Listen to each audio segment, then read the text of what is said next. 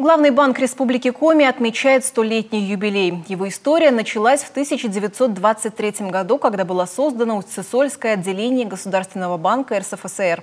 Путь государства всегда был тесно связан с денежным обращением. По банкнотам и монетам можно отследить, какие периоды переживала страна. Как история России повлияла на главный банк республики, расскажет Мария Дымова.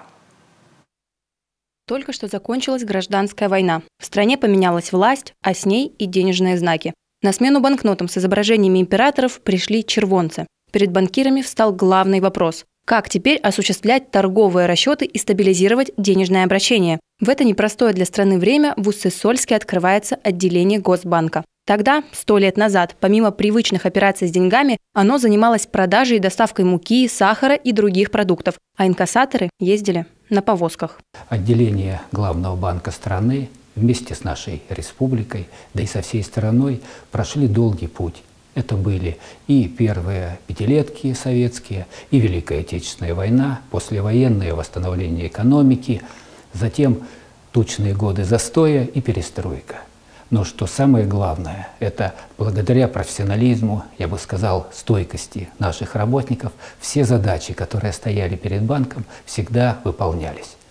И вот сейчас отделение Национальный банк Республики Коми активно осуществляет расчеты, занимается обеспечением налично-денежного обращения, а также расширяет доступность финансовых услуг и продуктов. Современное здание главного банка республики знакомо многим, но знаете ли вы, где он начинал свою историю? Сначала он располагался в доме купца Суворова, но уже через пару лет переехал в собственное здание.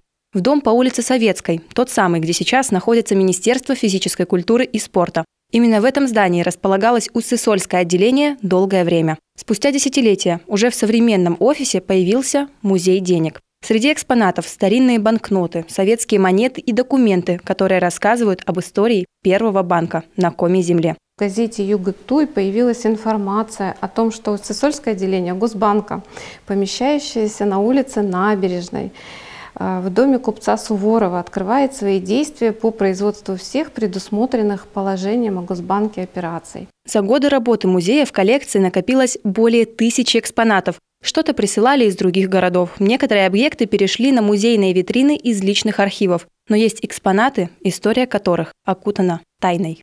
Самый большой и тяжелый экспонат в музее – это сейф британской марки весом в 300 килограммов. Таких в Советском Союзе обнаружили всего два, причем один из них долгое время использовали в Усть-Цильме. Как он оказался в северном селе, до сих пор остается загадкой.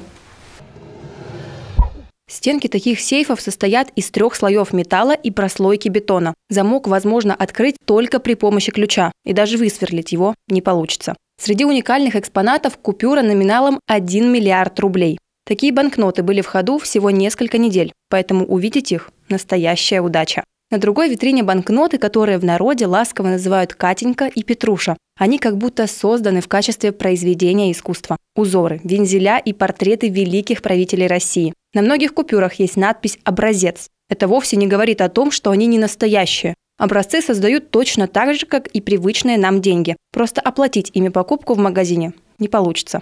Банкноты в музее выглядят как новые, в отличие от тех, которыми мы пользуемся каждый день. Денежные знаки, пройдя цикл своего нахождения в обращении, поступают на предприятия, которые наделены правом уничтожения. И вот там они до такой степени измельчаются.